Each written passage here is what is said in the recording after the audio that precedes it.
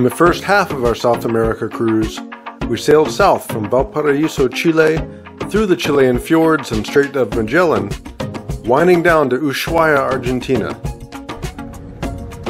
taking a tour through the Tierra del Fuego National Park. The park's seemingly endless, dramatically beautiful landscapes of mountains molded by the Earth's tectonic plates and lakes carved by Ice Age glaciers were a real highlight of the trip.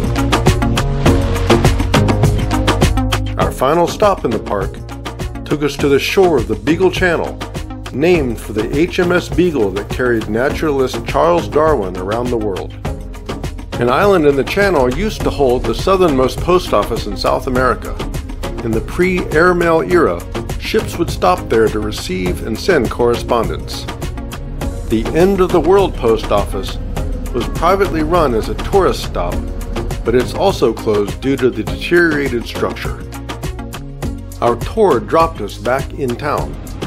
The world's southernmost city, Ushuaia was founded in 1884 as a penal colony and logging town. Modern economic activities are fishing, sheep farming, and tourism. The winds here are strong and pretty much constant, even grounding these seagulls for a while. The city also has the world's southernmost commercial airport, the winds make it one of the most challenging places to land in the world.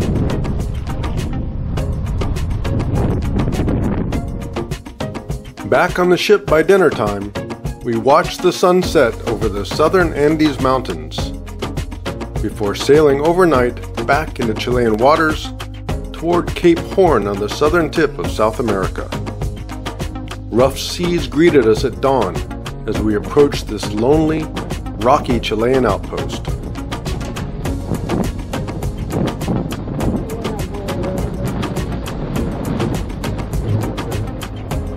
First charted and rounded in 1616 by Dutch sailors, they named it for their hometown, Hoorn.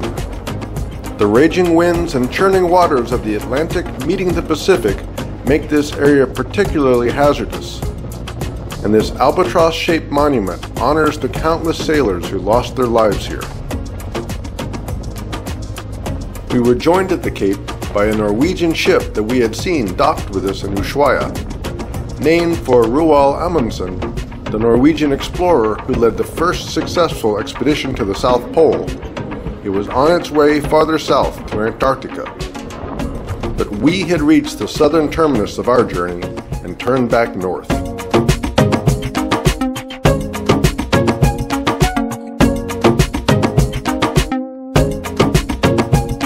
We had another sea day up to our next port of call.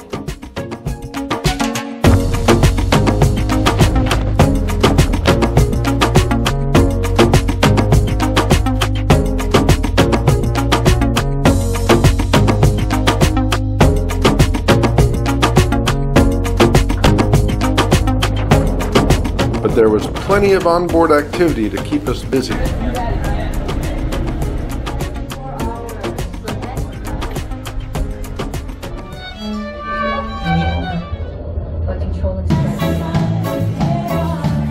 There had been entertainment in the main theater the entire cruise. But we had picked up a special act in Ushuaia, professional dancers from Buenos Aires who specialized in tango, and they put on two spectacular shows. Tango was born in the late 19th century working class communities around the port of Buenos Aires, Argentina. Influenced by European immigrants and former African slaves, it was initially looked down on by the upper classes, but it's become one of the most celebrated dance forms in the world.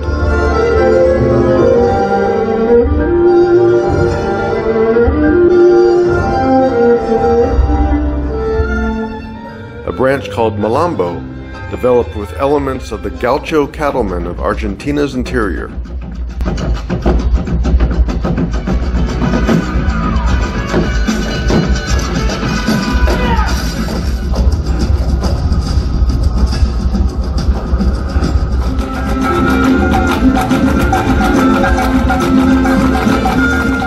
Dancers also give a free lesson in the ship's grand foyer.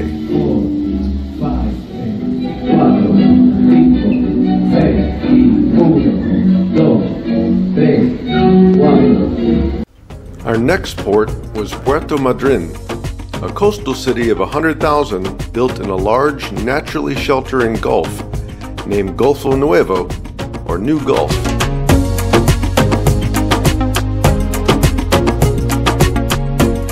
City itself is small, but connected by sea, bus, and air to the rest of Argentina. We arrived early on a Saturday morning, so everything in town was quiet and mostly closed. Though some residents were out and about, and later on stores started opening up.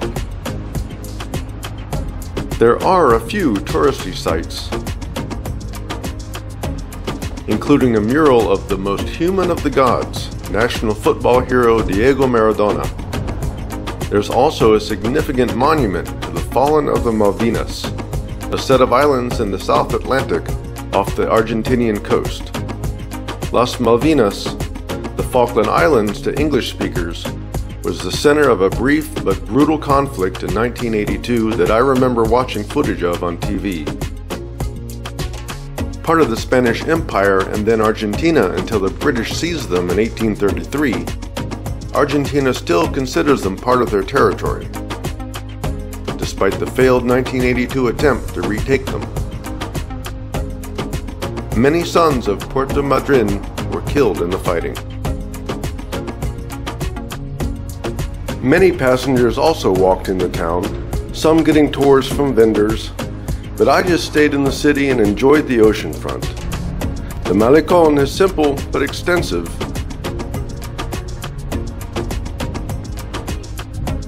And while the beach definitely isn't the nicest, there were some flamingos hanging out.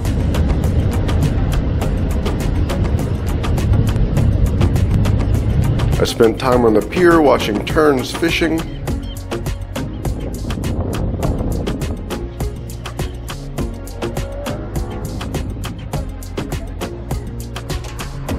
Hanging out with other terns, seagulls, and cormorants.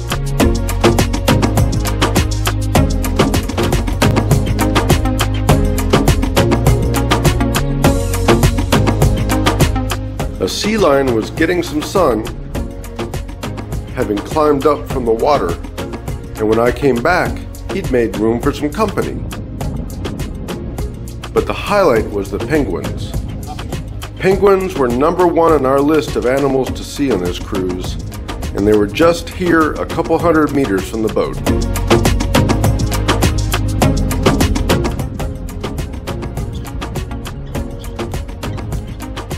While I was in town, Avic took a bus tour south to Punta Tombo,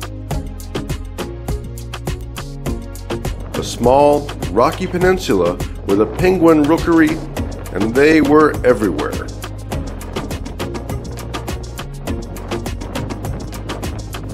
The penguins around Puerto Madryn are Magellanic penguins, some of the most north ranging, and Punta Tombo is one of their key breeding areas.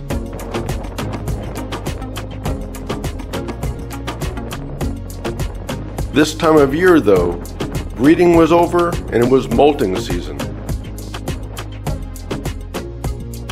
And this one wasn't happy about it at all. Guanaco, a relative of camels and llamas, lived among the penguins, eating the grass and brush. The animals are well isolated from tourists, though there's always one nonconformist and you can still get pretty close to them.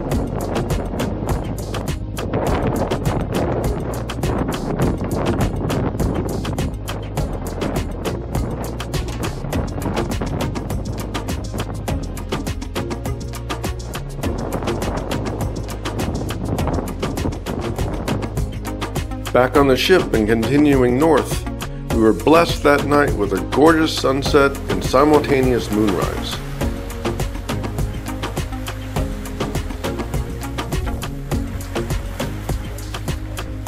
One last sea day was ahead of us, and the weather was fantastic. The best pool day of the entire cruise. After one last sunset in the open ocean, morning saw us pulling into Montevideo, the capital city of our milestone 50th country, Uruguay. Montevideo was established in 1723, relatively late in the European colonization of South America. Initially built as a military outpost to guard the much larger port of Buenos Aires, it grew rapidly in the 19th century and still retains much of that architecture. Historically pulled between its larger neighbors, Argentina and Brazil, Uruguay has nonetheless become a 21st century model for economic and political stability in South America, though many parts of the city are still very run down. The Old Town is small and walkable with beautiful squares, parks,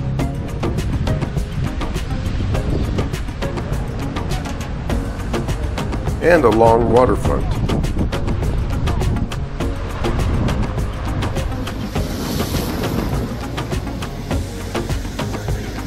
The Port Market is a popular spot for cruise passengers, as it's adjacent to the port and its design and restaurants are interesting but be prepared for tourist prices.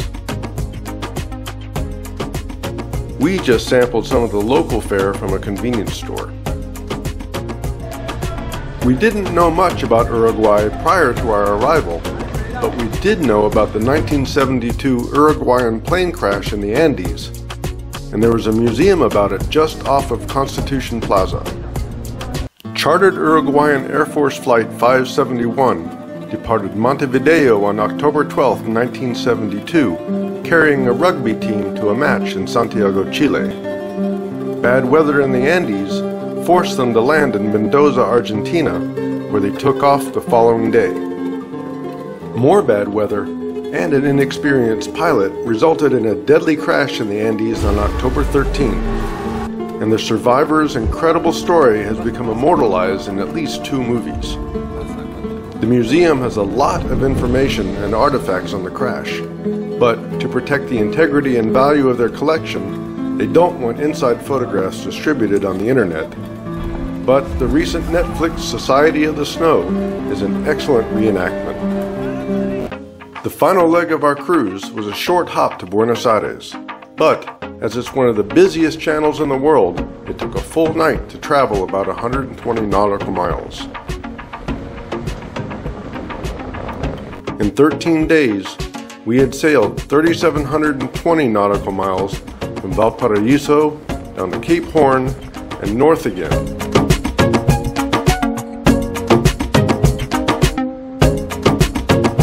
And morning in Buenos Aires was the end of our cruise.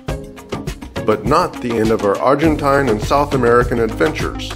So be sure and subscribe to the channel so you don't miss out on our upcoming videos.